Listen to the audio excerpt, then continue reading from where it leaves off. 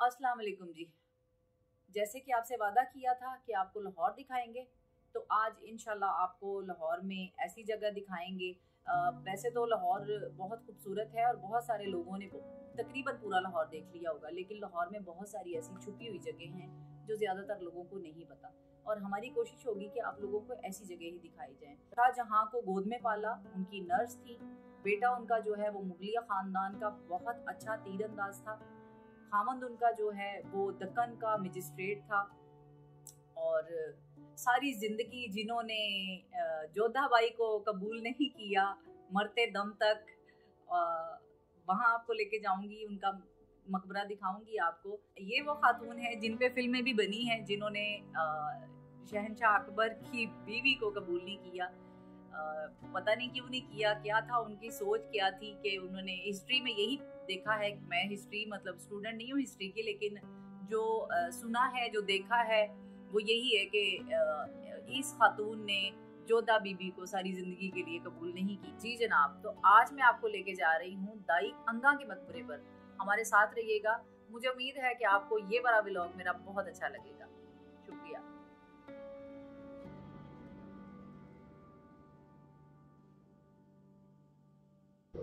जी तो इस वक्त हम हैं गुलाबी बाग, लाहौर में मौजूद है। ये बड़ा खूबसूरत बाग हुआ करता था शायद किसी ज़माने में जो कि माई अंगा का मज़ार भी है।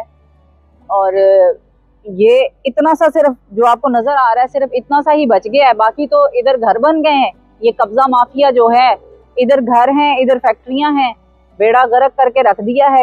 तो ये जो आपको छोटी सी एक निशानी नज़र आ रही है ये 1022 में बना था जी। और मिर्ज़ा सुल्तान बेग ने ये बनवाया था, जो कि शाहजहां का मंजूर नज़र था। तो बाकी भी आपको दिखाते हैं, आए। तो हम लोग आने वाली नस्लों के बेड़ा गर्क कर रहे हैं। हम उनको सांस लेने के काबिल नहीं छोड़ेंगे। हम इस मुल्क की बर्बादी में शामिल हैं पूरी तरह से, क्योंकि हम सब इसका हिस्सा बन चुके हैं। अगर हम लोग बदनीयत ना हो ना, हमारी नीयत अच्छी हो तो हमें किसी से भीख मांगने की ज़रूरत नहीं है। हमारे पास इतना कुछ है, अगर हम उन पे टिकट लगा दें, लोग वैसे भी तो तफरी के लिए आते हैं, अगर हम लोग इन्हीं पे टिकट लगा के इसी चीज़ को बचा लें तो शायद हमारा मुस्तकबिल बहुत अच्छा होगा। लेकिन हम लोग चूँकि अंदर से बेईमान हैं, इसलिए बेईमानियाँ कर करके हम लोगों ने सिर्फ़ ये चीज़ छोड़ी है और एक ये सीधी एक रोड छोड़ दी है, बाकी सब कब्जा हो गया।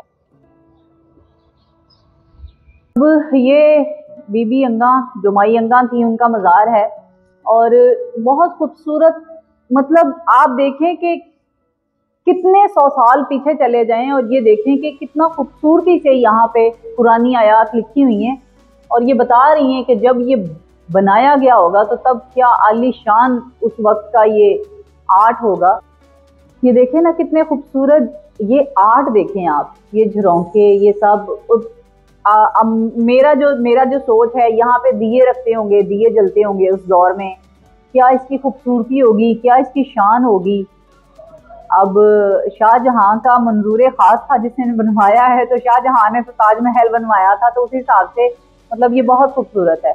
अगर हम लोग इस चीज़ पे नहीं आवाज़ उठाएँगे कि हमारी जो हिस्टोरिकल चीज़ें हैं उनको हम बचाएँ तो ये कभी भी नहीं बच सकेंगी।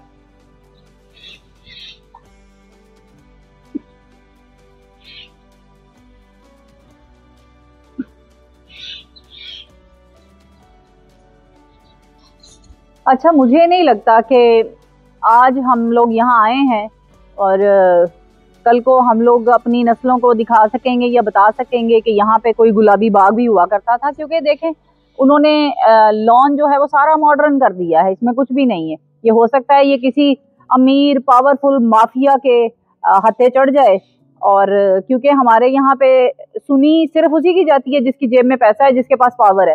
तो जिस किसी के पास पावर होगी वो बहुत जल्द जो है वो इस पर इसका भी सफाया कर देंगे। और बाकी क्या बचेगा? एक वो मज़ार बच जाएगा शायद कि वो बच जाए। अगर बहुत पावरफुल मा, माफिया हुआ तो यहाँ लोग कब्रों पे भी घर बना लेते हैं हो सकता है यहाँ पे भी किसी का कभी घर बन जाए।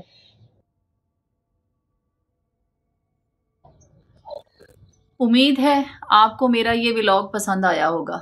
यहाँ की सूरत हाल देखकर बहुत बोझल दिल लेके यहाँ से जा रही हूँ। आइंदा व्लॉग देखने के लिए भी साथ रहिएगा और अब तक साथ देने का बहुत शुक्रिया। अल्लाह हाफिज़।